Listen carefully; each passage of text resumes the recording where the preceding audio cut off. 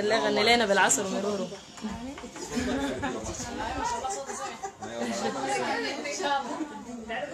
اسمع وعيد الجنيه الشريط ده بالله تدخلوه في الموبايل